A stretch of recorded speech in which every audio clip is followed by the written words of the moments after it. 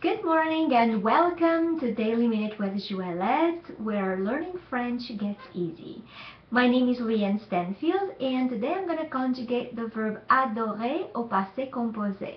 To adore at past tense. Adorer au passé composé. Please look under the video to see the spelling of this verb. J'ai adoré, I adored. Tu as adoré, you adored. Il a adoré, he adored.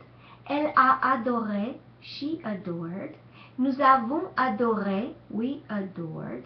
Vous avez adoré, you adored. Ils ont adoré, they adored, masculine. Elles ont adoré, they adored, feminine. J'ai adoré, tu as adoré, il a adoré, elle a adoré, nous avons adoré, vous avez adoré, ils ont adoré, elles ont adoré. Now it is your turn to post a video response with a question or a comment and of course better yet for you a sentence using the verb adorer au passé composé.